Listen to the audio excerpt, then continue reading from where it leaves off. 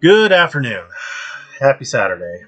So, this is a video from James Freeman. Passenger ID refusal. You may notice it is in a commercial vehicle. A commercial vehicle requires a commercial driver's license, and it also requires you to comply with all of the federal rules because you are engaged in interstate commerce.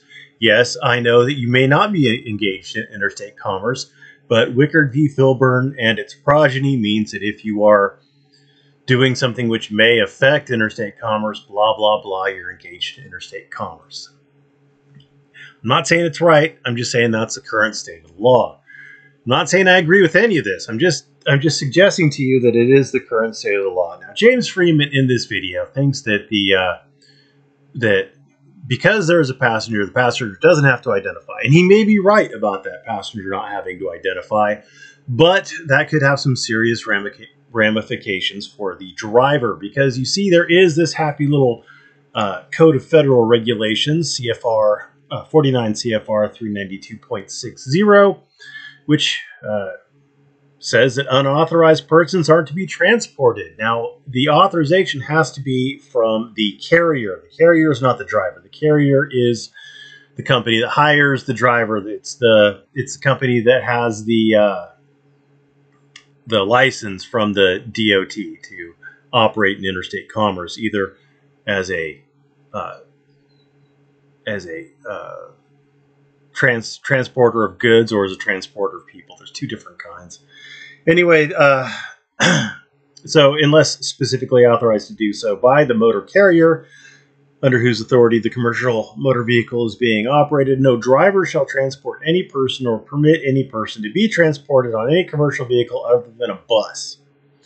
So, when such authorization is issued, it shall state the name of the person to be transported, the points where the transportation is to begin and end, and the date upon which such authority expires. No written authorization shall be necessary for employees or other persons assigned to a motor vehicle by a motor carrier any person transported when aid is being rendered in case of an accident or other emergency, an attendant delegated to care for livestock, and this section doesn't apply to the operation of a commercial motor vehicle controlled and operated by any farmer and used in the transportation of agricultural commodities or products thereof from his or her farm or in the transportation of supplies to his or her farm.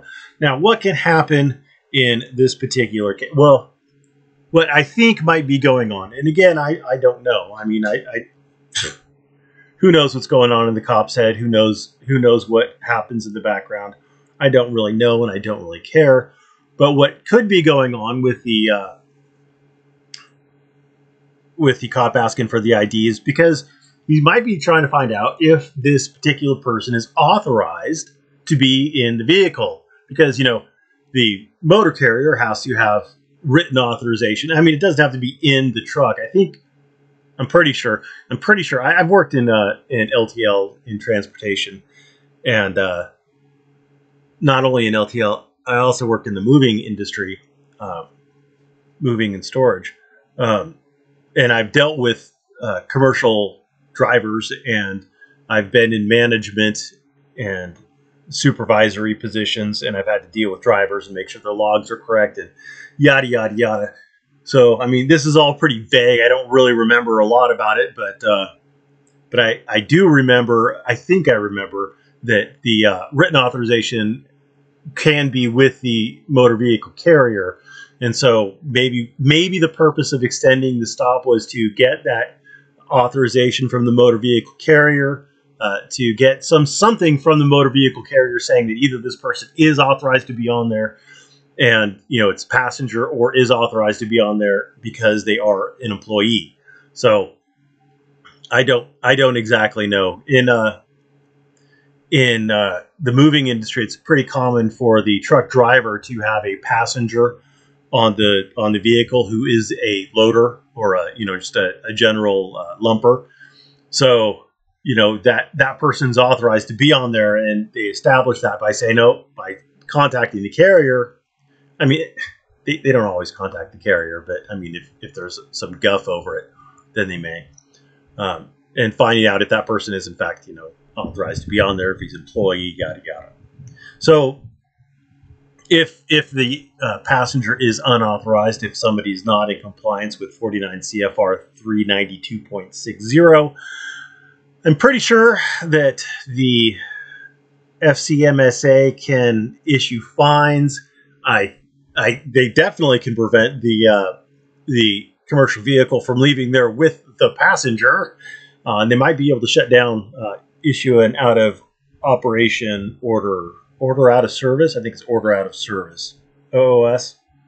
Anyway, they can they can definitely they can definitely prevent that passenger from leaving on the uh, commercial vehicle, and they can issue fines. So, you know, it's it's not like it's not like the cop didn't have a reason, at least under current law, to ask the passenger for the ID. I mean, it's probably not just to be a dick, probably. And again, I maybe maybe it is. I don't know.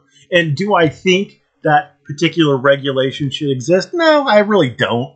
I mean, I understand that they don't want uh, they don't want uh, like truck drivers to pick up hitchhikers or truck drivers to pick up hookers or anything like that. I get it, but I mean, does it really stop anybody? I'm I'm sure there are hundreds, if not thousands, of violations of of actual recorded, like documented violations of 392.6060 a year.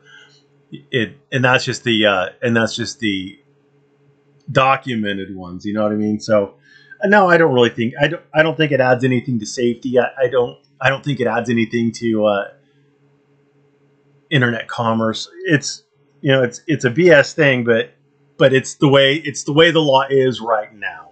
So you know the way the law is right now, it is right now, and, and you just got to deal with the way the law is right now, unless you have the balls to change it.